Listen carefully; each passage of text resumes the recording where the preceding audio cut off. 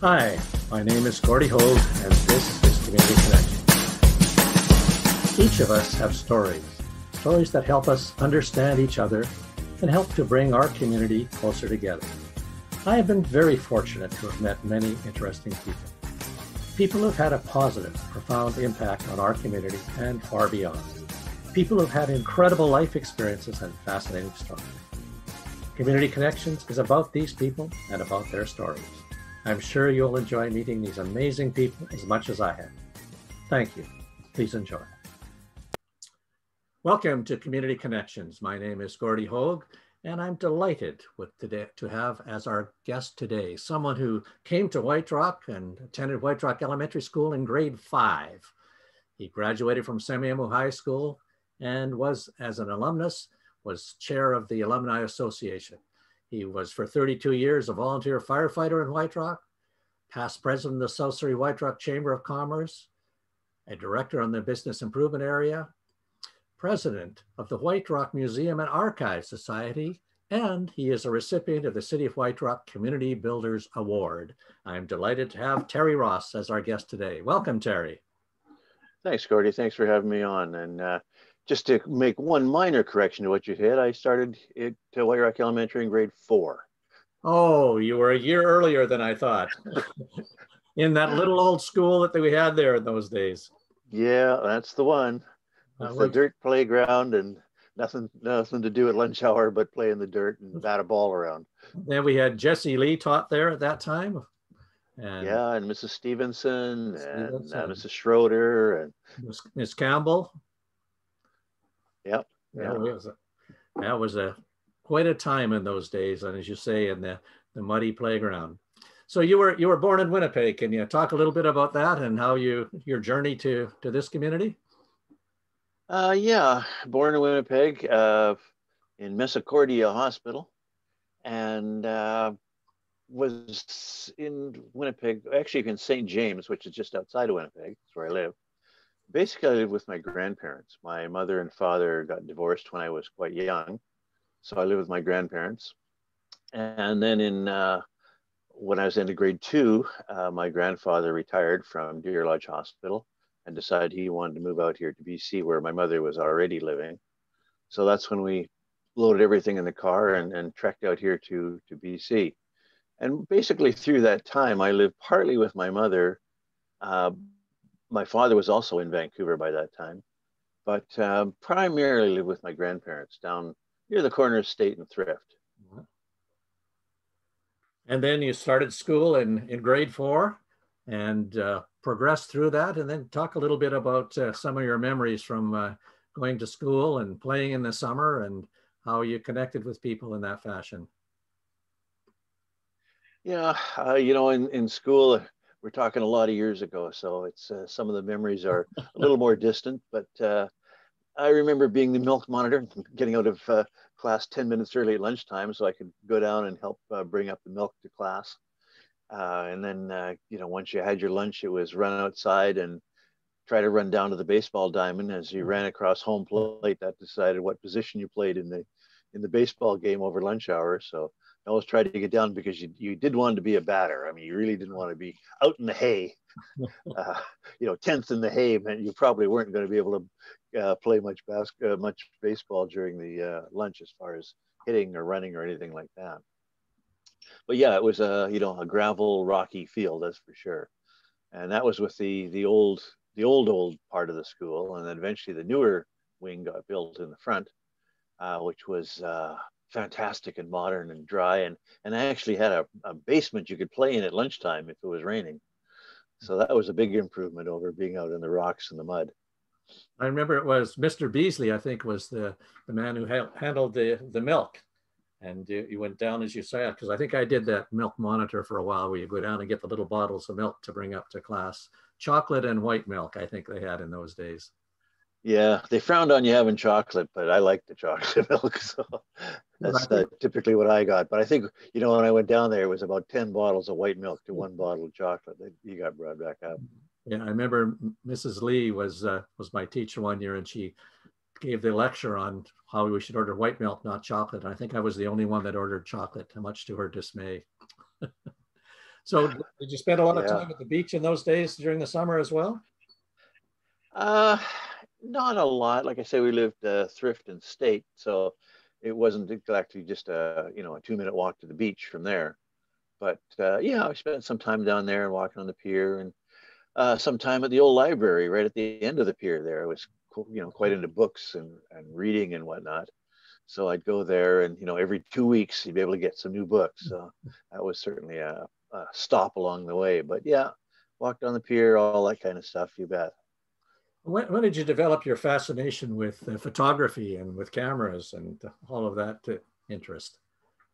Well, I I always was interested in photography. It, it kind of gelled a little more when I got into high school and I joined the photography club, and uh, got you know around people who were also interested in cameras. And by that time, I could afford to buy a, a little better camera than what I had. It wasn't just a, a box brown anymore. I bought a from Sears, a Tower 35, it was called. Ooh. And uh, that, you know, leaps and bounds the better pictures than what I what I had been taking. Still couldn't afford much film and getting it developed, but you know, I, at least I could go out and take some pictures and, and whatnot. And that kind of progressed from there. That uh, always was interested in photography, and right through high school, stayed um, you know interested. When I got out of high school, uh, I worked for um, Air Canada for a little while, and then I got a job with a company called Frederick Photography in Vancouver doing portraits. But it was portraits where you went to people's houses. Yeah. So they would give you in the morning a sheet and you would have to get to these houses and take people's pictures. So you had to set up something in their house with some portable lights that you had and a big old uh, camera with a, a film uh, back on it and try to figure out how to take the best uh, picture of these people. And you know, you never knew what you're walking into. It could be a, a senior citizen. Uh, it could be six little kids running around. Uh, I took pictures of a horse once out in the barn. Uh, you just never knew from day to day what you were going to get.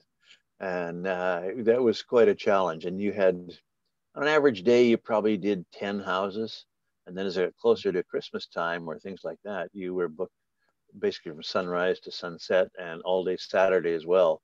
So you you really had to hustle to get all the pictures in, and every morning deliver them back to Vancouver so they could process the film and and get the uh, the pictures flowing. So really indoctrinated into photography, particularly portrait photography at that particular point in time.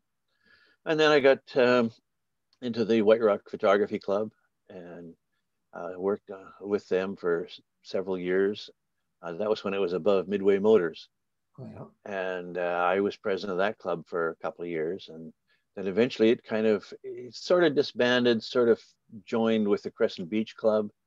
And I've worked with the Crescent Beach Club over the years as an honorary member and been down several times to, uh, you know, various presentations with them. I probably would have stayed more with the club, except that to tell you the truth, when you work in photography all day, and then you try to do some of your, your own photography, you know, on your own time, you kind of have enough photography without going to meetings about it. But I did try to keep in and give them a you know a hand whenever I could. And then you got into working at Reed's Photoshop. Yeah, that's right. Uh, I got in working there, and uh, I was there for 42 years altogether. Yeah. Started out as a basically a counter in the back of uh, Reed's Western Drugs, it was called at the time and kind of built that up. And we moved up to the front of the store and expanded it to the, what we call the camera corral at that point in time. And that expanded till we kind of ran out of room. So uh, we'll split the uh, the business off into a store that's uh, at the end of Central Plaza. We call it Photo Mart, and that was where the um, TD Bank is now. And we ran that for several years there, and then the opening came to where it ended up being uh, back along the main part of Central Plaza, uh, still called Photomart. And then we got in, I got involved with a group called Photosource um, and decided that it would be a good move for us to become part of that group. It's all independent members. Uh, so we didn't lose any independence or anything like that, but we now had buying power. We now had uh, resources. Uh, we had AGMs to go to and meetings and whatnot, and it really expanded what we what we could do uh, at, at, that point in time. We ended up being the first Western uh, Canada member for Photosource. I, primarily at that time, it was back in Ontario and a little bit in the Maritimes. Um, I got to know a couple of the people from the uh, from the group, and they persuaded me that I should be a member. So, like I say, we became the first Western member. Uh, followed shortly after that by a few others that I'd been associating with here. I'd formed a, a little group here on our own uh, called Independent Photo Retailers of BC. So we kind of moved that into PhotoSource Canada. It ended up that PhotoSource Canada um, still in operation, although it's a much smaller operation than it was, as you can imagine, with with most camera stores. There was at the uh, the prime time, which was about five or six years ago, there was 260 stores in the group across Canada, uh, based out of Oakville, Ontario. I uh, got involved with the board of directors there, and uh, got into the marketing committee and eventually I was the chair of the marketing committee. So I was kind of responsible for marketing across Canada for the group. Um, we had a head office with four or five people, and they were doing the, the day-to-day work. But uh, as part as chair of the marketing board, I was one that was looking over things for flyers and all that kind of stuff. So I had the responsibility for for a lot of members. So you're saying that and, the leadership for Canada in many ways came right out of South Surrey White Rock and the provision you were providing for that. That's right. And then as I, they decided that, or somebody decided that I should uh, then take on the job as chairman of the board for the whole group. So I went on to the board to learn for a couple of uh, years what that was all about. And then I did become chairman of the board for Photosource Canada. So I was heading back and forth to Oakville. I lost track somewhere uh, over 60 trips to Oakville wow. uh, over the years. Um, so, so what, where did you meet your, your wife, Carolyn? how did, how did that go with uh, you traveling so much and being involved in well, we, having a family and three children? Yeah. We've been married since uh, 1966, so you can do the math on that. Just, you know, put it down as equals long time. uh, we actually met in Birch Bay, uh, roller skating. Oh. Uh, Carol was born in Powell River, and her family lived in several places, including a White Rock. They had a little party store here at one time, way back on Johnson Road, party supplies. And her mother was American. Um, so they had moved down to, to Blaine and she was going roller skating in Birch Bay. And at that time, uh, myself and a group of other guys, we always used to go down to Birch Bay roller skating on Saturday night. I can so remember doing that there. myself. Yeah. Yeah. Right on the waterfront. Yeah, that's right. So we went together for about a year and a half and decided, well, this is uh, a lot of trips back and forth across the border. Uh, we knew every customs agent at the border because we used to go down and pick her up. Not much to do in Blaine, so we'd come back here. We'd go to a drive-in, or we'd do, you know, go for something to eat or whatever. So uh, basically, by the end, the customs officer just kind of, oh, go on, go through. and we ended up uh, getting married in Birch Bay. Oh. Um, at the little uh, church down there. And the reason for that, two things. One, she was living down there and she had family down there. Second part was that uh, we decided that we'd like to have our anniversary together all the time. So we had our wedding on July 1st. It was very difficult to get a place up here to get married on July 1st, but down there, of course, not a holiday. So uh, that's why we ended up getting married July 1st in, in Birch Bay. And uh, she moved up here immediately. We lived on High Street to start with uh, beautiful view out over the water and all that kind of stuff. And then we moved down to uh, Crescent Beach, the end of uh, 128th Street, uh, in a house owned by Bill Hastings. I'm sure you know oh, Bill. Yeah. Yes, I do. Yeah. Photographer. He my, yeah, he was my landlord, uh-huh. uh, living next door. And I used to go down and help him in his basement, slosh through some prints through the chemistry and whatnot. And, and then eventually we bought a mobile Oh. We bought a mobile home in Breakaway Bays. We lived there for a few years and then bought a house up on 24th Avenue, 24th and 140th. And current, and then after that, we moved to the house that we're currently in, which is right near Semiahmoo High School, uh, across the road from it, basically.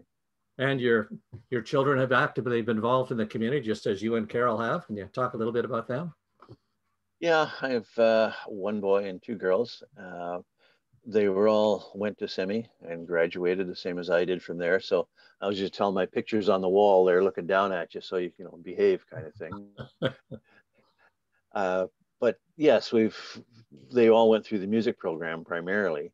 Uh, primarily, uh, my uh, oldest daughter and my son. My youngest daughter was in the music program, but not quite as involved. And my wife Carol was president of the Music Society for a number of years. So she would take the little darlings on trips to various places around the country and down to Cuba one time and lots of times to Disneyland and uh, all these places so we've always been involved through the through the school that's for sure.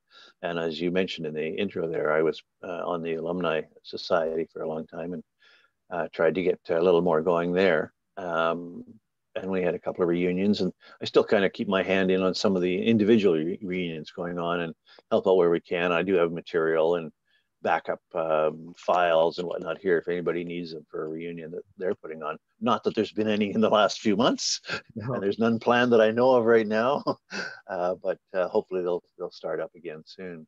I think uh, actually Bernard Charles and I had started the Alumni Association that uh, we had been talked to, and I think Bernard and I put up the money to get it started, and so it's great to see that it went quite well, and I think that it still comes in and out and has different levels of participation at different points in time. Yeah, some some classes are certainly wanting to participate. Other classes not so much. Particularly the newer classes. That all those kids keep in touch on Facebook and all these things. So it's not it's critical for them to get together. It's not like uh, they haven't seen each other in 30 or 40 years, something like that. So the newer graduates tend to do something on their own. It's typically the ones that are like 25 years or more since they graduated that, that want to get together. So with all of this involvement you've had in the community over so many years and participating and documenting things, photography, uh, it seems kind of logical that you're now uh, president of the museum and archives and uh, being able to have that sense together and a sense of the community and, and the history of our community. So, so what, what are, what do you see the role of the museum and archives in sort of protecting our history and and uh, trying to bring life to it and offering different uh, exhibitions to to teach people about our community and and our connectedness? Yeah we've been really lucky that the city has supported the museum uh, very well through the years. Uh, in in information but also just in a place to have the museum and repairs. They've just uh, this year put all new windows in the museum for us, and they're painting the museum. And they always come down right away if there's a problem with the air conditioning or whatever. So they've been very supportive. Uh, we're trying to document everything that happens. Even now, they're out documenting some of the uh, the results of the COVID and whatnot. Uh, and going back through the stuff, trying to figure out what's important. There, there's an awful lot of stuff in the filed away in the archives and in storage. And some of it, truthfully, isn't relevant to White Rock at all. Uh, it's been donated through the years out of the kindness and the goodness of hearts of people, but it doesn't really fit in with White Rock. So we're trying to go through some of that and just make sure that everything that we have is relevant. Uh, we have a new curator down there uh, who is uh, doing an excellent job of all that. We've also just in the process, uh, next week is a board meeting for the museum of getting approval to buy a large flatbed scanner uh, for the museum that'll be able to do like a full newspaper page at one time or some of the big old maps and big old documents and things like that. So this stuff can be scanned and eventually it'll be up online for people to, to look at and, and research and whatnot. Right now, anything like that that we have to do, we have to uh, beg, borrow, or steal some time from like the Surrey Museum or someplace else to to use their scanner. So this will be a big boost to uh, Hugh down there to be able to do this stuff right right then and there. Or if somebody brings something in that doesn't want to leave it, we can scan it right away and and have it in the archive. So uh, last year, put in all new computers down there. Uh, the computers we had before, uh, a pencil worked faster. So now we uh, have some new computers and cloud storage and backup for everything. And that's been a big uh, boost too to, to, productivity down there. Uh, before, you know, you literally turned on the computer, went for coffee, came back, oh, it's still not ready to go. have a second cup of coffee and then start up. So this is, uh, I'm told is a big boost down there to that. So trying to work on a lot of that just to bring the, the, the baseline of the museum up to make sure that we can capture everything that's happening now and at the same time go back into history and make sure what we have is is relevant and whatever. Uh, I've certainly been working with um, Semiahmoo First Nations on some of their stuff. Uh, we've started a reconciliation ceremony uh, with them, which we had the first part uh, last year. And Hugh's been getting out and doing some uh, interviews around town and walks around town. He'll be doing some of those. Uh, we've just acquired some photo equipment, ta-da, for the mm-hmm. museum, uh, so that uh, he can do videos similar to what you're doing right now. Go out and interview some of the people who have been relevant to White Rock and to the museum over the years, and, and again get those into the archives. So yeah, lots going on down there. I, I remember uh, in reading the goal of the museum and archives, and and I think that the overall goal was to uh, to interpret local history and and challenge visitors to think about the future as well as the past. So what, what do you think about when, as you look at the, the past of our community, how is that informing our future and uh, how do you see, what, where do you see the future based on the foundation that's been set with the, the past and the work that the museum and archives has done? Boy, we're getting into some deep stuff here. uh, sorry. yeah, you know that that is the role of the museum to document all this stuff and make it accessible, and hopefully we learn from the past. Uh, hopefully we look back on things that happened in the past, and hopefully those helps us with decisions and challenges that we may face today or in the future. Uh, there's a lot of stuff that's happened here that really nobody knows about, and that's kind of what we're trying to do is to document all that stuff, but also present it in a way that's easy to understand. We are going out, we have over the last, last number of years gone out to school classrooms and we do teaching within the classrooms of the, you know, some of the more basic stuff, but where did, why did White Rock start? Who was here? Uh, about the Semiahmoo First Nations, of course. Uh, about the train coming through. Why was the train put here? Why is the train still here? Uh, all these kind of things. So that's going out into the education world. And again, that's been kind of put on hold because of COVID, but that's something that we're planning on expanding on um, as time goes on to bring the history to the present. Yeah, and you have some uh, permanent exhibits as well that uh, that exist in the in the museum, the uh, city by the Salish Sea, and the, the talk about that. And uh, certainly, yeah, we certainly do. We have uh, permanent exhibits of uh, in the the old station itself uh, of where the um, telegraph operator was and uh, Sid Beals and all these people that, that, that were down there. And that stays all the time. And we're hoping to enhance that this year or as soon as we can uh, with more background sounds of trains and, and all that kind of stuff. Uh, the other exhibits uh, that are rotating through the gallery, uh, right now we're starting out with one it, as we're recording this, it's the end of October. Uh, Remembrance Day is coming up, and we have our Lest We Forget uh, gallery, which is open now. And that will be open through to sometime in December. I forget the exact date. Uh, we normally have a Christmas uh, sort of trade show fair for people or vendors to come in. but because of COVID, it's been canceled this year. So that's kind of a blow to us because it was a good money raiser for us. And it also allowed that these vendors with their crafts, arts and crafts, had a place to sell their stuff, and they won't be able to do that this year. We're trying to work on a little modified one that maybe we can have a few people in, but the present time we won't be having it like we we normally do. So we're, we're transitioning at the museum, and partly, you know, this COVID thing is is certainly bad, but the other ways, it's made us look to what we are doing and how can we be relevant in this time, and how can we be relevant once this time is over and this recording of, of these video recordings that we have time to do now that we didn't really have time to do before uh, upgrading all these uh, the building and all that which we really didn't have time for before we've now been able to do so we're going to come out of this i think really good it's just too bad we have to go through this particular time to get there i noticed that uh, you, you, made reference to go, going out to some of the schools and talking to some of the the students there but i also noticed that you've got uh, a number of uh, displays for children. So they're coming into the museum and places that are interactive for them to, to get a sense of, of history and grounding and, and understanding of our community from a, a very basic level at the museum. Yes, that's right. We, we wanted a place where children could kind of play a little bit while the parents took the time to, to read the signage and, and look at the exhibits and all that. So yeah, we do try to uh, entertain the, the kids a little bit so their parents have time to, to learn about the history of White Rock and whatnot.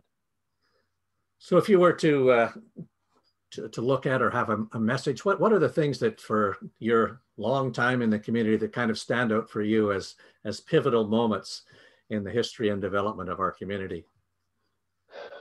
Boy, there's been so many. You know, one thing we, we didn't touch on uh, was that for 32 years I was a volunteer firefighter here. I did mention that, yeah. and uh, that, uh, you know, during that time I was involved in a lot of charity stuff and whatever. But you also got to meet a lot of people, sometimes not under the best circumstances. Yeah.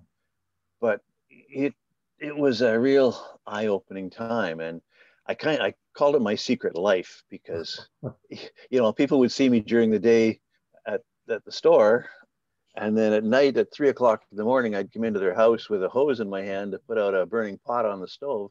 Funny, they wouldn't recognize me. Strange. so, yeah. So you saw people in a whole different way. Um, you know, I think through the time, I think the city has, and, and I guess depending how you look at it, the city has grown. And for some people, that's good, and some people, that's bad. Um, I don't think anybody says 100% that it was good. I don't think anybody says 100% it was bad. It does help having more people around to be able to uh, facilitate more projects and things. I see that through the uh, Business Improvement Association that I'm on the board of. Uh, the more business we have here, the, the more levy money we can collect to put back into the business, to put on things like concerts for the pier, and buskers festivals and all these things. So having more people in more places is good for that. But I also understand that you know we've lost a little bit of the the hometown feel. Uh, I don't think anybody goes down and collects milk at the school anymore for, for lunch hours. You know? uh, so there, has been good and bad all through the years. Uh, but I think overall, you know, when we travel, and Carol and I have been lucky enough to travel quite a bit, um, it's White Rock gets a pretty positive review. Uh, we were down in um, um, Cancun at a resort and just walking along, and there was uh, one of the girls that was there that was a server was walking beside us, and you know you just get casually talking to her, and and uh, we she asked where we're from, and I said, well, we're from British Columbia. Oh, she said, well, whereabouts? It was just outside of Vancouver. Oh, outside. Well, whereabouts? And I said, well, White Rock oh, White Rock, I've been there. They've got a great pier there. I really enjoy it on the being on the beach. And here's somebody, for, you know, working in a resort that you didn't expect would have traveled that far. And you know, whether we've traveled, we've we've been, like I say, to Cuba and St. Kitts and all kinds of places like that. Anybody that knows White Rock always gets a, a positive rating. I've also been lucky enough to travel quite extensively across Canada through uh, PhotoSource. Um, everything from Baddeck in Nova Scotia to Montreal to Halifax, uh, Saint Adèle in Quebec, whatever. And, you know, almost everybody's heard of White Rock. And almost everybody says, what a great place. Either they've been here or they know somebody that's been here or they would like to come here. But whatever it is, White Rock gets top marks all the time. I've never heard anybody say, oh, White Rock, what a dump. I wouldn't want to live there. No, we've been pretty blessed to, to, grow up in this community and be a part of this community. And certainly uh, a lot of the, the positivity comes from people like you and the contributions that you've made uh, over the years to to the well-being of the community because it's not just the physical presence it's it's the feeling and you reference that with uh, many of the uh, many of the volunteer roles you've played and currently with respect to making sure our history is preserved for the museum and archives and that that, that sense of social well-being that is such an important part of creating community. And you've done a great job with that. Any, uh, any final comments you'd have for as we look off into the future and what we should be holding on to and what the future might bring to our community? Well, uh, you know, right now it's hard to predict the future. Uh, I'm not even sure what I'm doing this afternoon, except I do have to rake some leaves. yeah, lots of leaves. Yeah. But uh, yeah, I mean, you know, who who can predict right now what what's going to look like a few months or a few years from now? So at the museum, what we're trying to do is preserve today, uh, so that's here for the future. But as to predict what the future is going to happen, that's a tough one. And if you can do that, or you know anybody that can predict the future, I would really like to meet up with them. Well, I, I think for me, it's it's about it's about ensuring that the values that you've reflected, the values that you've commented on, the values that people bring to the community and their contributions, and uh, the great sense of, of volunteerism that exists in the community and has for I think since the growth of the community and since the its its inception, I think those values need to be we need to continue to nurture and support those. And then if we have those strong values, I think the growth of our community will be in good hands and and will will do us all and serve us all well. Yeah, I think you're right. Uh, and you know, the arts community is big here. Um, there's so many people here that are involved in, as you say, in volunteerism. And you know, it's great. I, I've been in a bunch of these groups, and I've you don't really see anybody saying, "I'm in it for me. What can I get out of this?" It's all about what I what can I do for the community, and that's it makes it so much nicer to work with people like that. And everybody jumps in and says, "Yes, I can help you with that. Yes, I can do that for you. Yes, I can try to get that funding. I can do whatever." And that's been uh, it's marvelous, really. Well, that's a wonderful way to to end our discussion, talking about the positivity of of the community and the people here, and we have to be blessed in a pretty nice looking place too. Thank you very much. And, and, of course, and of course, you've done your part too. So I do want to commend you for all that you've done. And I don't know how you're going to do a self interview, but you should do that one day and talk about yourself and and all the things that you've contributed and all the volunteer things you've done. And I know through the years, almost every meeting I've gone to or every volunteer organization, uh, Gordie Hogg is there as the speaker, as as uh, you know, helper, whatever. So, you know, look in a mirror, give yourself a, a little interview do that. I've been, I feel very blessed as, I think we all have who have grown up in this community and have come to it and look forward to, to continued growth and a good continued sense of those values. Thank you, Terry, for all that you and your family have done for this community in so many ways. It's much appreciated. Thank you for joining us today on Community Connections. Please tune in to our next show as more amazing people share their wonderful stories. If you haven't already, please click on the red subscribe button below, right down there, and view our updates. Feel free to leave any thoughts or comments that you may have. We're always trying to do a better job of connecting this wonderful. Thanks again for joining, and until next time, keep connecting. Thank you.